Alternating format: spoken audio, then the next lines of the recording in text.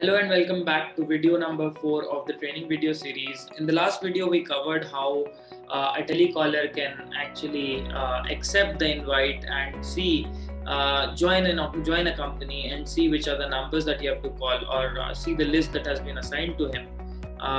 Now uh, I see that this is the list that is assigned to me. Now, how do I use the power dialer to dial the numbers one by one? So for example, the first lead that I have to call here is Ankur. So what I'll do is I'll click call, I'll allow for the permissions, and just like that, a call is placed. Right now, I don't want to disturb this guy at uh, 12 a.m. in the night. So what I'll do is I'll disconnect the call, and uh, let's say I want to move to the next lead so all I have to do is click on the next button which is highlighted here.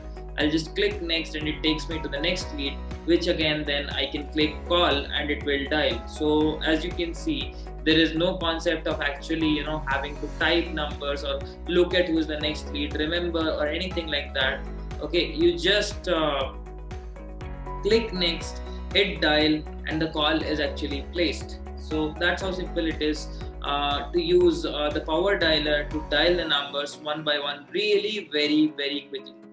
Okay now uh, uh, this in this video we covered how to use a power dialer. In the next video we're going to cover how you can add feedback for the call that you just placed